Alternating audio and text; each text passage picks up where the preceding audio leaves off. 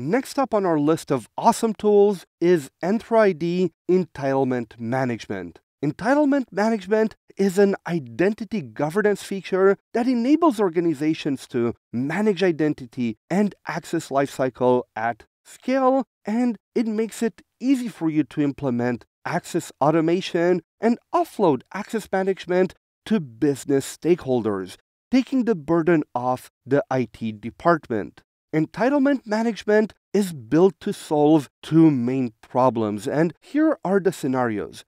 When a user starts working on a project or on a new team, they don't know all the accesses that they need. Even once they find out, each resource might have its different owners, taking different times to give the user their permissions. And while users fight to get their permissions, their productivity goes down.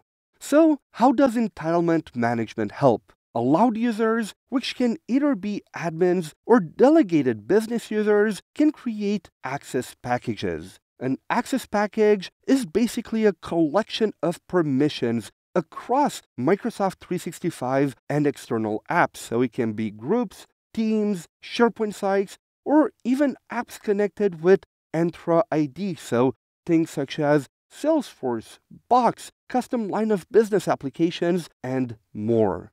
In addition to that, you can also configure who can request access. Is it automatically granted or does it need to go through an approval process? Does the access automatically expire after a certain amount of time or at a certain date? Finally, you can also integrate the periodic access reviews that we have learned about earlier, but to the contents in the access package. From an end user perspective, you can go to a single location and see all of the different packages that you're allowed to request and what they include. From this interface, you can then request them, or if you are an approver, you can approve the requests. Another functionality is catalogs, as access packages are grouped together into catalogs. So in one tenant, you can have multiple catalogs, and each one of them can have multiple access packages. As an administrator, you can then delegate access to catalogs. So again, taking some responsibility off IT and empowering trained business users to do more you can assign other users to be catalog owners, catalog readers, access package managers, or access package assignment manager. Now that we know the theory, let's head over to the lab environment and check out what Entra ID entitlement management can do for us. We're now in the lab environment. Let me open up the browser here where I'm inside the Microsoft Entra Admin Center. Let me go under Identity Governance here, and then we will go to Entitlement Management. Let's go under Access Packages and create our Access package. Let's create an Access package here. First thing it will ask us is for the name. So I will call it Project Alpha. Then a description, request this access package if you need to work on Project Alpha, and then I can select what catalog it's in. Of course, right now we only have one catalog, which is the general one, but remember, you can create multiple. Next up, let's go to the roles. What actual permissions will this access package give us? Let's start with some groups and teams here, and then let's see all of them. What you will do then is search for what are all of the different teams and groups that you want to add this member to. Uh, you see, I have Project Alpha Europe and Project Alpha Canada. They're both either a Microsoft 365 group or they have a team attached to it. Then I need to select the role. Will the user be an owner or a member? Let's do a member here for both. And let me also add the SharePoint site here. I can see all of them if I want to. It will show me all of the ones in my organization. Let's again search Project Alpha. We need to be careful because, of course, it can give access to only the SharePoint site part of the group, but you know what? I want this other one, the investor relation news, and then I can select what SharePoint group I want to add the member in. I want to add the member as an owner. Perfect. Then let's click on next here and we can decide who can request it. only users in my directory, only users not in my directory. So do I want to make this purposely built for external users? that need to request access to my tenant. Imagine that instead of manually provisioning and inviting the user, you have an external facing directory that hey, your vendor needs somebody new on the project, you just give them a link, they request access from there, even if they're not in your tenant yet, and then you approve them before they join. But what I want to do is I want to make this one for users in my directory, and I want everybody, including guests, to be able to request it. Do I want to require an approval? Yes or no? I do. Yes, I need a justification, and I only need one stage of approval. I want to select specific approvals here. So let me select Vlad as an approver.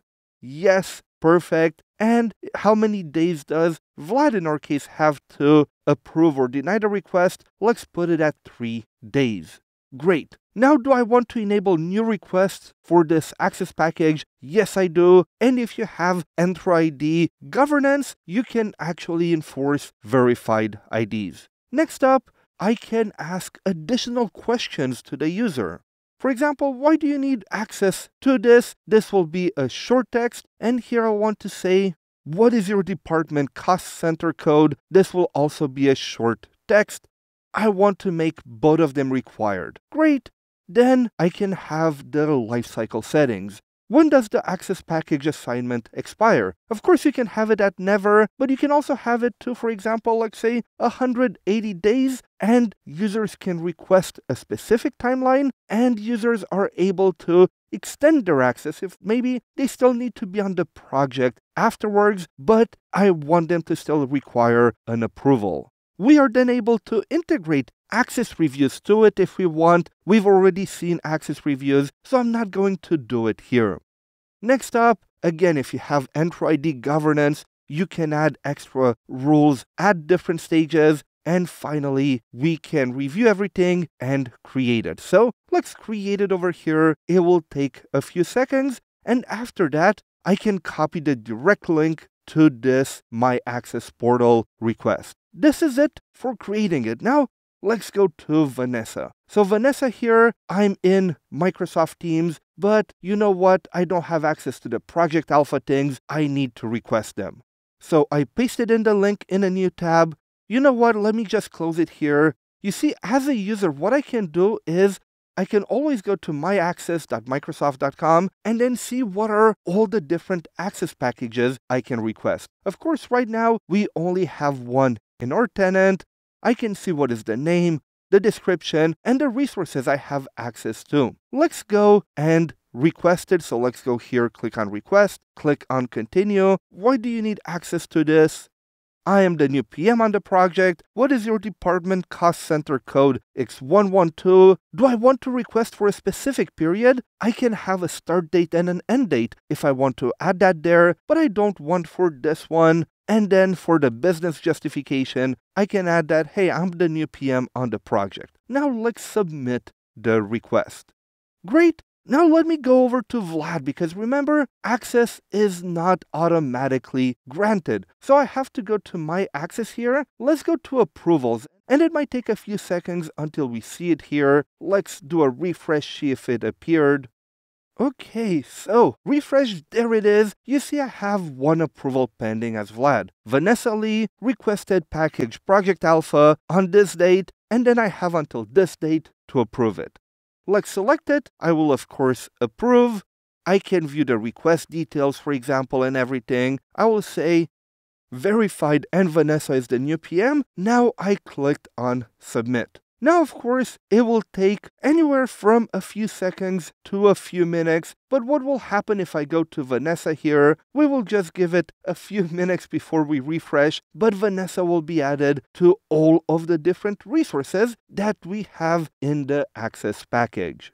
There we go. Project Alpha Europe and Canada just got added automatically so my access package work. This is it for entitlement management, a way to automate permissions and also offload a lot of this permission granting to the business users that are closer to the actual resources than have it all centralized in IT. Now let's head back to the slides and learn about our next identity governance tool.